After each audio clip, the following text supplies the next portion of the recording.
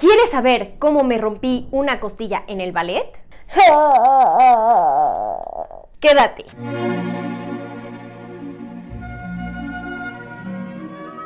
Hola amigos, mi nombre es Javnia Saraí, soy maestra de ballet, especialista en activación neuromuscular y bailarina de ballet.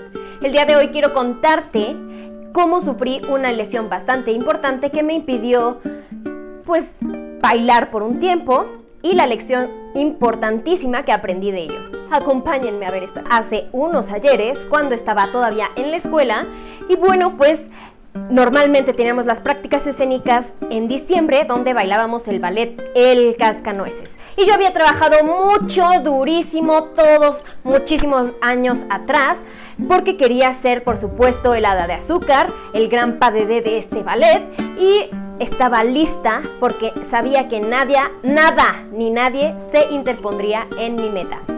Pero el destino a veces puede pasarte una mala jugada porque tienes cosas que reflexionar. Y eso me pasó. Vamos.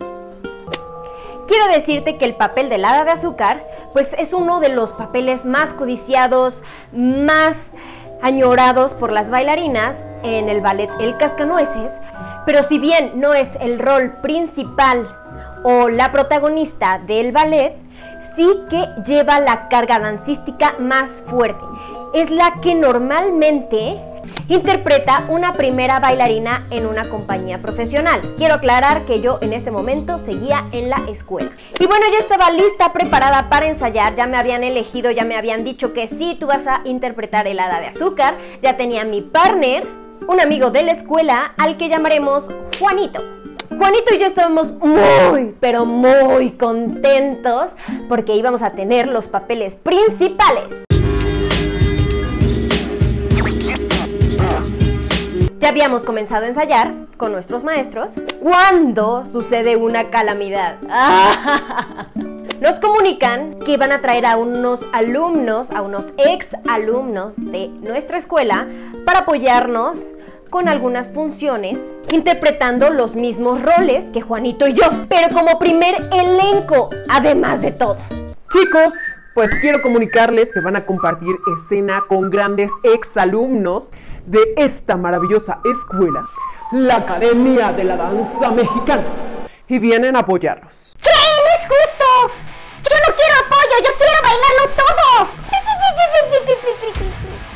Torta de jamón. Y bueno, pues en ese momento no tenía las herramientas necesarias para poder ver que mis compañeros me podían aportar muchísimo porque ellos ya estaban siendo profesionales, más experimentados y como niña mutante adolescente fui corriendo a ver a mi mamá. ¡Mamá! Mamá, no es justo. ¿Por qué pusieron a Pedrito y a Margarita a bailar nuestros papeles también? Y además en el primer elenco. ¿Qué les pasa? Ellos ya son exalumnos. Ellos ya son experimentados. No se vale.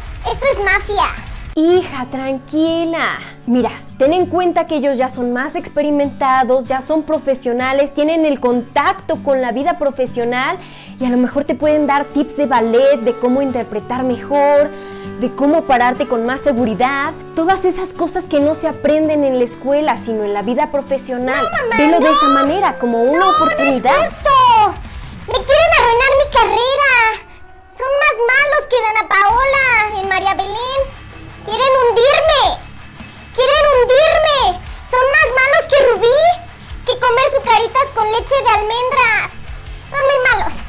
Ay, hija, estás exagerando un poco, ¿no crees? ¡No! ¡Son muy malos! Una semana después. Mamá, ya nos montaron todo, el adagio completo. Toda la coreografía. ¡Qué bueno, hija! ¡Qué bueno, mi niña! Ya te veo más tranquila, me da mucho gusto. Me lo recuerdes, todavía sigo enojada un poco. ¡Oh, mucho! Además, ¿sabes qué? Siento que a Juanito como que le están relegando un poco. Como que ya no lo quieren o algo así porque ya lo pasaron a ser suplente. ¿Tú crees? Esto es un complot. Y como lo pusieron de, de suplente, pues ahora me están poniendo a bailar mucho con Pedrito. Pedrito no. ¡Pedro! Pedro. ¿Qué Pedro, mamá? ¿Qué Pedro? Otra vez. ¿Qué pasa? Pues sin reírte. Es que me estás riendo? No me veas. Momentos después. Pero ¿sabes qué, mamá? Hay una cargada que hago con Pedro que... Con Pedro. Que me está doliendo aquí. Aquí como de lado y un poquito aquí atrás en la espalda. No sé si le estamos haciendo bien o... ¿O qué está pasando? Porque cada vez que la hago con él, me duele. Y con Juanito nunca me había pasado. Y aquí quiero hacer un paréntesis porque Juanito y yo pues ya llevamos bastante tiempo tomando clases juntos de PADD o de dueto, mejor dicho, por supuesto con otros amigos también, y entonces pues ya teníamos esta complicidad de saber cómo se mueve uno, cómo se mueve el otro. Por eso son muy importantes las clases de dueto o de PADD porque así vas construyendo una buena química y un buen entendimiento de cómo moverse. Y con Pedrito, aunque era un excelente bailarín, pues no habíamos tenido esa química o ese trabajo en conjunto que impedía que entendiéramos el mismo lenguaje. Y además yo era una estudiante, no era una profesional. Hasta aquí mi reporte, Joaquín. Sigamos con la historia. Ay, hija, mi niña hermosa. Pues si sientes que te estás lastimando, ¿por qué no le dices a tus maestros? Yo no sé nada de ballet, entonces no te puedo decir si está bien o mal lo que están haciendo. Pero no creo que esté bien que te esté doliendo todo el tiempo.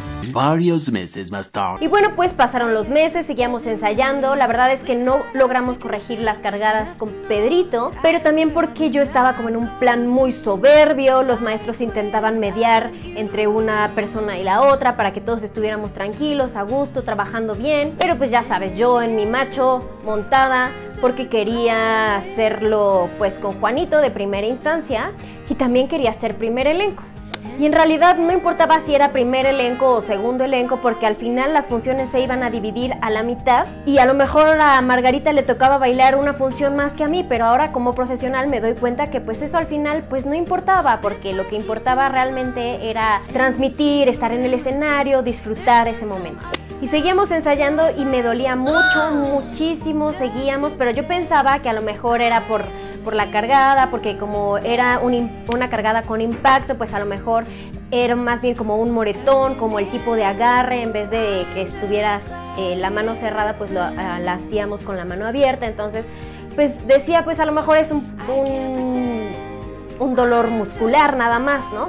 Y seguíamos ensayando, seguíamos ensayando. Además, yo estaba muy delgada en ese momento. Eh, probablemente no me nutría correctamente, eh, pues a lo mejor no tenía una ayuda profesional con un nutriólogo, ¿no? Una dieta específica, correcta para mí en ese momento. Entonces, tampoco hacía un entrenamiento de fuerza como lo hago ahora, para mantener mis músculos activos, mis cadenas musculares, mi cuerpo fuerte. Y todos estos errores, pues, llevaron a un punto clímax de esta historia. Montaje. Y bueno, pues llegó el día del ensayo general en la escuela. Y cabe mencionar que Pedrito tenía una función por la cual no pudo ir a ese ensayo. Y entonces pues los maestros decidieron que pues como Juanito era el suplente pues tenía que bailar con Juanito pero yo hace meses que no bailaba con Juanito. Y aunque me entendía bien bailando con él, pues en una de las cargadas, en una levantada, yo escuché hacer crack a mi costilla y fue como de, ¡ah! No puedo respirar. Puse una cara de dolor horrible. Pero pues tenía que seguir y seguir y seguir y seguir. Entonces terminé el dueto, el adagio, lo terminamos. Y recuerden que yo ya traía muchísimo dolor, entonces pensaba que esto pues era normal.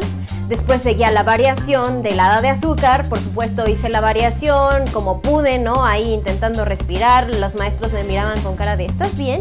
Y yo les decía, sí, estoy bien escuché que, tronó algo, pero no supe. Y entonces los maestros ahí como que un poco se alarmaron y me dijeron, ¿estás segura de que quieres continuar? Y yo muy segura de mí misma dije, claro que sí, yo voy a terminar hasta el final, hasta el último momento, hasta que no pueda más. Y bueno, pues error, porque cuando ya venía la coda, a la hora de los fuetes, a la diagonal, eh, hacíamos una diagonal de fuetes, pues ya no podía respirar bien, se me iba el aire, sentía que no entraba aire en mis pulmones, entonces dije, no, ya, perdón, no puedo, o sea, no puedo seguir porque no lo estoy haciendo bien, me está doliendo horrores y mejor pues descanso, ¿no? Y entonces en ese momento llamaron a mi mamá así de, ¡Trin, señora, venga para acá! A su hija le duele mucho la costilla, corra, venga, de emergencia, ya en este momento, no importa lo que esté haciendo, déjelo todo. ¡Oh my gosh! ¿Pero qué le pasó a mi hija? Mi hija favorita número uno. Bueno, no, mi hija favorita número dos. Bueno, no, mi hija favorita número tres. ¿Qué pasó? ¿Qué le pasó? ¡Voy corriendo!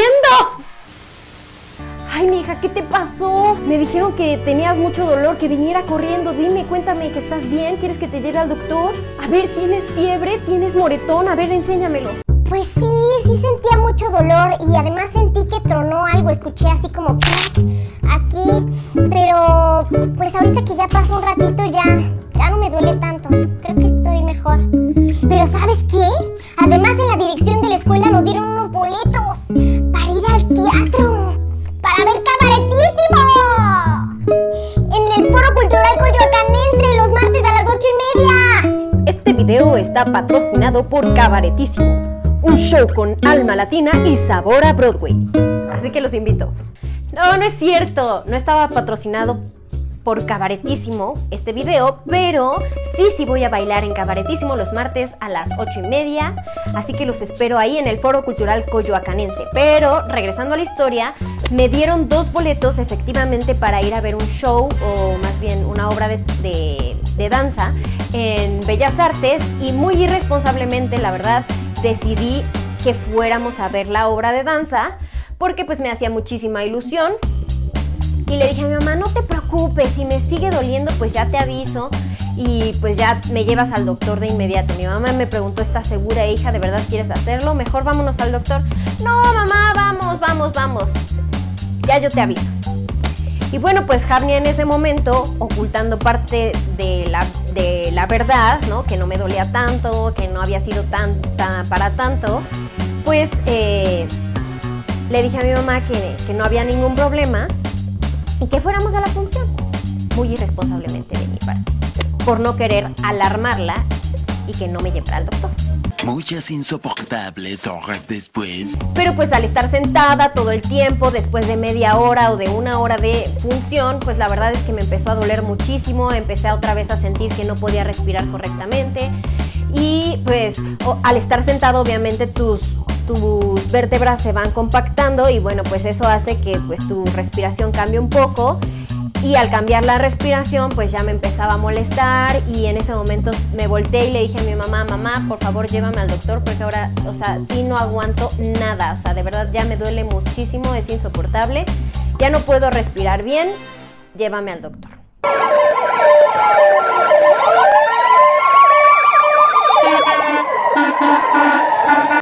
Y pues me llevó de inmediato a emergencias, me sacaron una placa y me dijeron, efectivamente, señorita, usted tiene cuatro costillas rotas y no sé por qué no vino antes, eh, ha sido muy irresponsable de su parte porque cuando te rompes o te fracturas una costilla, muchas veces puede perforarte un pulmón y eso puede ser pues caótico porque puedes perder la vida. Afortunadamente todas mis costillas estaban, aunque algunas fisuradas y una sí definitivamente se fracturó, me dijo tuviste mucha suerte porque la, la costilla no sé cómo pasó, pero regresó a su lugar y pues no causó ningún daño por no atenderme inmediatamente. Afortunadamente no pasó a mayores, pues me ven aquí, pero pues eh, aprendí grandes lecciones. Eh, una es que cuando tienes un dolor tienes que checarte de manera inmediata, que hay que revisar las cuestiones técnicas eh, y no emberrincharse, ¿no? Cuando no creer que tú tienes la verdad absoluta, porque pues los maestros están ahí para apoyarte, para guiarte, pero si tú estás puesto en un macho, pues probablemente no puedas eh, aceptar las correcciones de manera correcta. Con Juanito no tenía con Juanito no tenía ningún problema porque era mi amigo, porque nos llevábamos súper bien, porque el maestro con el que tomábamos dueto nos ponía muchísima atención y nos corregía cada detalle. Pero ya a la hora del ensayo, como era un ensayo pues express, bastante como suele suceder en muchas escuelas, pues los maestros no prestaban a lo mejor tanta atención y tanto detalle porque pues sabían o entendían que esas cosas específicas se veían en la clase de dueto, como, pero como yo estaba bailando con un bailarín eh, externo, pues a lo mejor no teníamos esa, esa química y yo también no estaba en un momento eh, en un momento en el que pudiera estar abierta a, a dialogar con él, ¿no? Con Pedrito.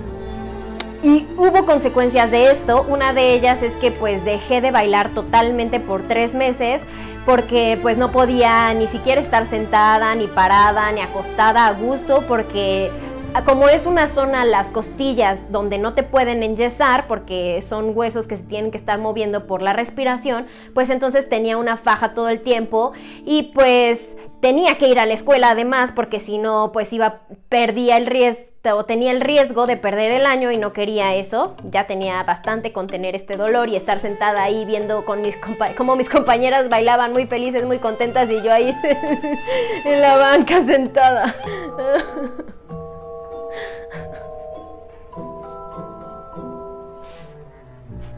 Otra consecuencia que tuve es darme cuenta que al final en las funciones, ¿no? Pues vi a mis compañeras, vi a Margarita bailando muy feliz, muy contenta y al lado mi mamá me dijo, ya ves hija, y tú que querías, que tú estabas emberrinchada, que no querías que alguien más bailara contigo, pues al final ni siquiera pudiste bailar, Y esa es otra gran lección que me dejó, que tener un suplente no es malo, que puedes aprender muchísimo de esa persona, ya sea que tú seas el suplente o que alguien te supla, es muy importante tener a alguien de, de, respaldo por si algún accidente sucede. Significa que mi barrio me respalda.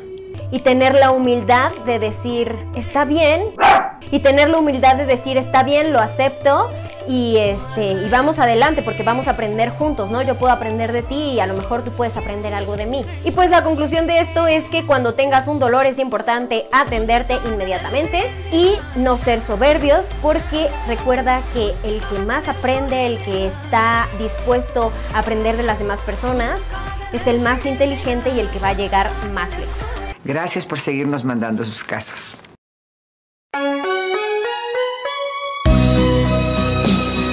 Y bueno, pues antes de despedirme, te recuerdo que tenemos una masterclass el día 26 de octubre del 2019. Te espero ahí.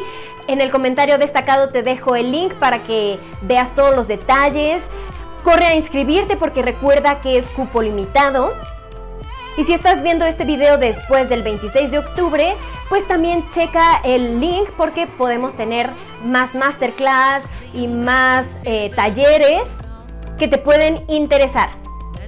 Recuerda suscribirnos, darnos un like y por favor coméntame aquí abajo en la caja de los comentarios si a lo mejor tú has tenido alguna lesión que te ha impedido seguir bailando, cómo has afrontado esto, qué lecciones has aprendido de la vida. Compártemelo porque toda esta comunidad preciosa podemos aprender de ello también. Y también comparte este video para que todas las personas se enteren y ahora sí, suscríbete aquí. Recuerda activar la campana, muy importante activar la campana. Y aquí te dejo otro video que te puede interesar. Te quiero, te mando un abrazo, nos vemos. Suscríbete, video. Suscríbete o ve el video. Adiós, te quiero, suscríbete.